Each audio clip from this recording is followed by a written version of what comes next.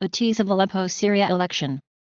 Syria desires a Syrian solution for the Syrians and it hopes that the upcoming year 2017 would see a reconciliatory and transitional momentum towards the peace process in Syria.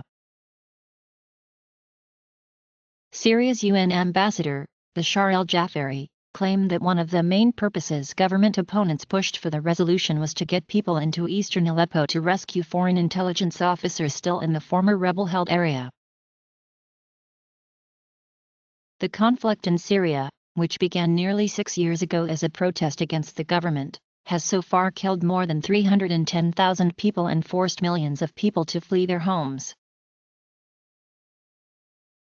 The evacuations were made possible through a ceasefire deal brokered by Russia and Turkey that paved way for rebels and civilians to leave the last opposition-held enclave in the city. Scores of wounded civilians arrived in Turkey Friday for treatment.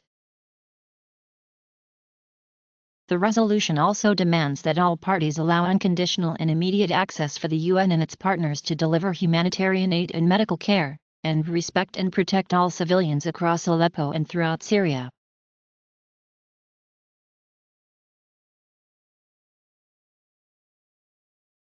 Thanks for viewing this tease. Sign up for the Tip Top Tech channel or search for a Tease Second Mind on YouTube to find and then enjoy other teas.